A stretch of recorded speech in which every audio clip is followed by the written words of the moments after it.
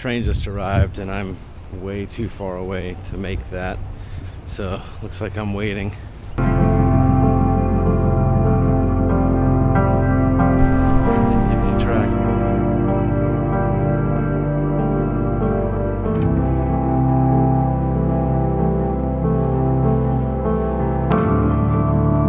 So today was a very busy day. Um, working on the 3D model, trying to get that thing going, ready to be kind of, I guess, detailed for Vietnam. I've got kind of the massing done, which led to some changes in elevations and a bunch of site changes.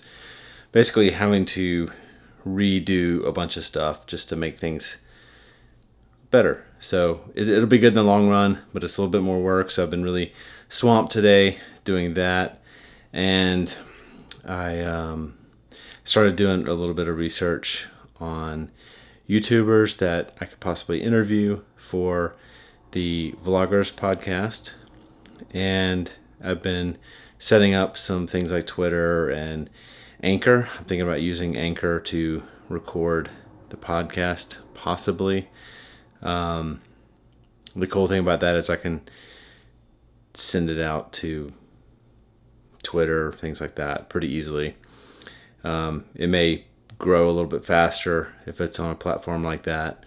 And I just got to research it because I'm not sure about the time frames and like the length. I think you might be restricted to a five minute only, which would not work for podcast. So I gotta I gotta do some research on how all that works and how I will actually get the file because I'm I'm gonna have to put the file on the website in order to get it hosted by iTunes, um, create all that RSS feed and all that stuff for the podcast. So that's kind of what I've been working on, and um, it's busy, busy, busy.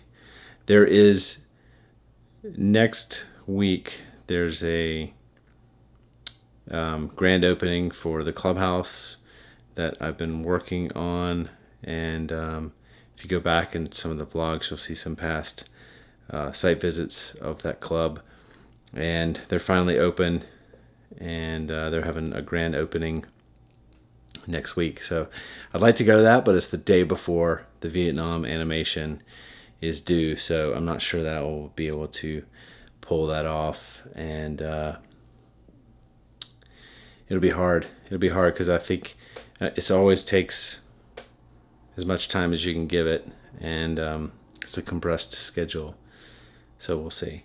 And also, I want to say if you know, it's kind of been hard finding vloggers that are under 500 and that are um, would be interesting to to have on the show. So if you know someone that you watch, um, a vlogger that you find interesting, please leave a comment below and link to their channel, and I will definitely check them out.